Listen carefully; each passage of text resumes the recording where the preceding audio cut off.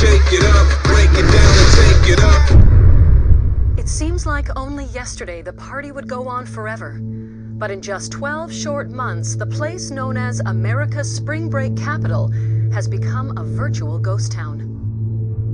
Who can forget the devastating attack on Lake Victoria that left scores of young people dead and a community in shock? And who could have guessed that this hell on earth would be wrought by a species of piranha believed extinct for the last two million years? A massive eradication program has left these waters, once teeming with life, silent and dead. After a massive exodus that left most property abandoned, the local economy fell into ruin. Lake Victoria is now a quarantine area. Only weeds grow on the beaches where thousands once soaked up the sun, and the only boats that remain are dusty relics littering the shoreline. As we look back on the anniversary of this tragic event, we're left to wonder if it happened here. Can it happen again? And if so, where?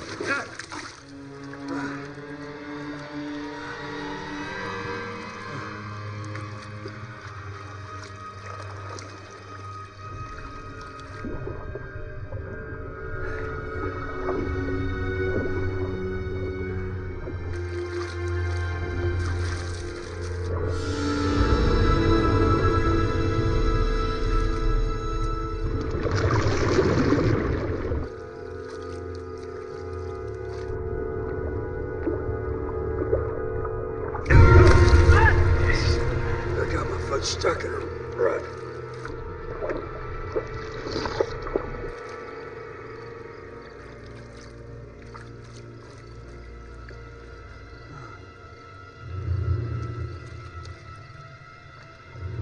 There she is, right there.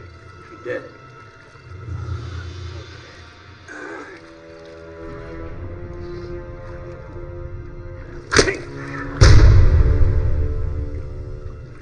That's a big old heifer, ain't it? Yes, she took second place in county last year.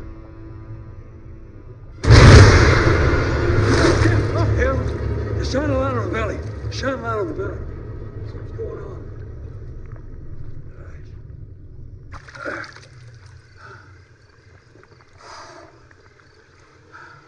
There's something in there.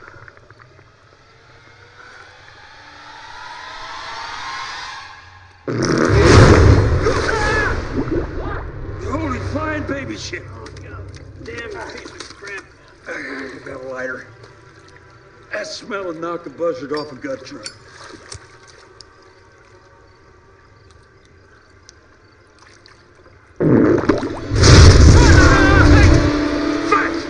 guess his damn cow.